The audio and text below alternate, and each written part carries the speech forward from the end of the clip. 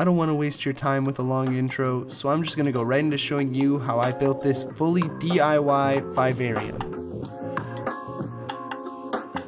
I decided to build my own custom glass enclosure rather than use a pre-built one for this project. I followed the tutorials on Troy Goldberg's YouTube channel for how he makes his Euro style vivariums, so if you want to learn more, definitely go check those out after this video. The total dimensions for this vivarium are 30 inches tall, 23 inches across the front, and 21 inches deep. The background of this build is going to be made using these compressed cork insulation panels. I started by taking measurements of the inside of the tank and cutting out pieces of the cork panel accordingly. It can be helpful to make your pieces slightly larger than you need to account for any mistakes.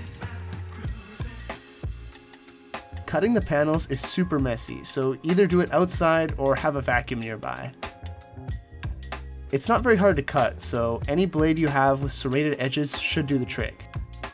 Don't worry about the rough edges or not perfectly straight lines, it shouldn't affect the end result. To attach the panels to the glass, I use silicone. You probably don't have to use as much as I did, but I prefer to be safe rather than sorry. Also, make sure you're doing this outdoors or somewhere with good ventilation because the fumes from the silicone are terrible.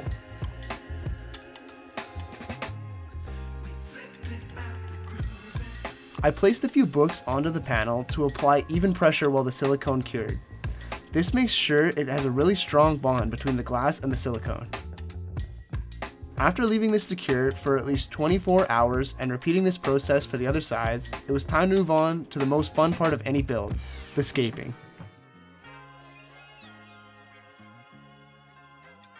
This part of the process is something that I believe you really shouldn't rush. Spend time really thinking of what you want the final product to look like once the build is complete. I ordered these cork benches online and decided on this dead tree style layout. I temporarily held all of the pieces in place using deli cups and barbecue skewers. To lock everything into place, I used this expanding foam. I definitely recommend wearing gloves for this step, as this stuff is terrible if it gets on your hands. After spraying the foam, I waited 24 hours and it was fully cured. When it's shiny and smooth like this, the silicone won't bond to it very well, so I carved it down until it had a rough, spongy texture. Doing this with something like a Dremel saves a lot of time, but makes a huge mess. Now that the foam is all carved and looks like you put SpongeBob in a blender, it's time to cover it up. I did this using silicone and shavings from the cork panels. Also, Make sure all of the silicone that you use is animal safe. I personally use GE Silicone 1, but if you want to be extra safe, you can use aquarium specific silicone. I put down an extremely generous amount of silicone onto the foam and then pressed in a handful of the cork shavings. When doing this, it's best to work in small sections so that the silicone doesn't start curing too quickly. Also, just like before with the silicone, do this somewhere with very good ventilation or outside. Trust me, after letting everything cure for a few days, I cleaned off the excess cork shavings with a vacuum.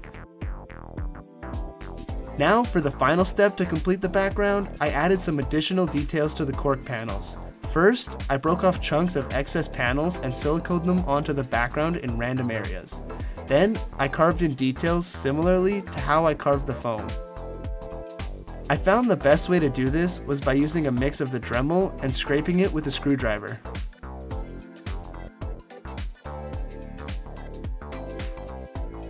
For the substrate of this vivarium, I decided to use sponge filter mats. This eliminates the need for a drainage layer and also won't break down over time like other substrates do. I carved it to form something that resembled a dried up stream bed and filled that in with gravel and river rocks. Now that the substrate was complete, here's how the whole vivarium was looking so far.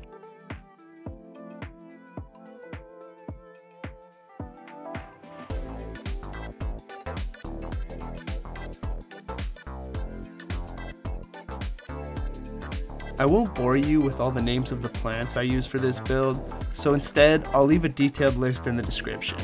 The basic planting process pretty much went like this.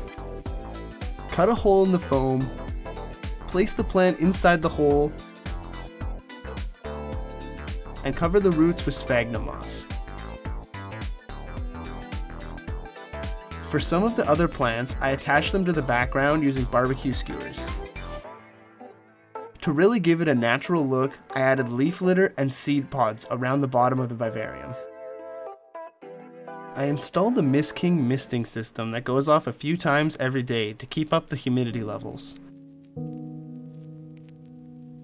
For lighting, I'm using two 6500 Kelvin LED shop lights. Each one is connected to a separate timing system so that they can turn off and on separately, sort of like simulating a sunrise and sunset.